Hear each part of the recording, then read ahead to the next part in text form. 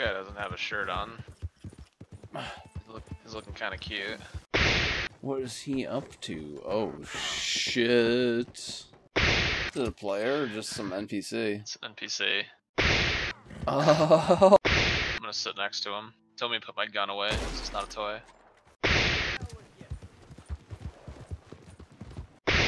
This dude's fucking awesome. He's just face planted down on the ground. His hat is still on, which is very impressive. That sounds terrible.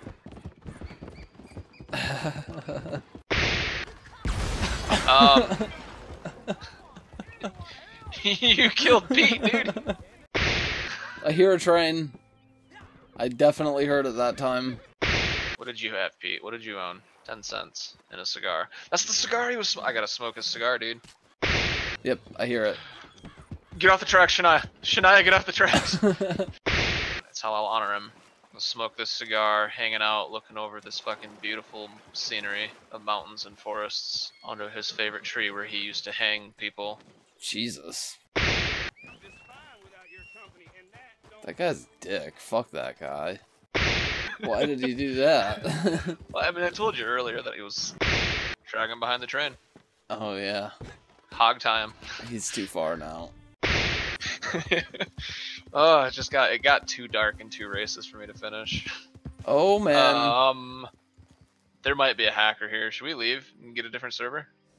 Uh... Oh. Oh.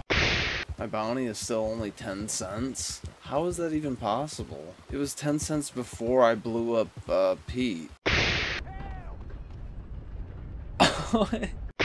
You're a monster. it didn't increase at all when I fucking killed him. What's going on back there? I'm I'm bringing someone. like, it, it changed absolutely nothing. I mean, he is a pretty fucking racist piece of shit. So honestly, you did the world a favor.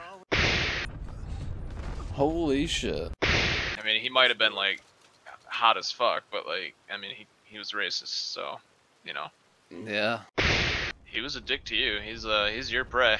I just recovered him. Oh, nice. So he's your toy to play with. I mean, no. gonna miss tapping that ass. oh! oh! He's alive still. Oh shit! oh no!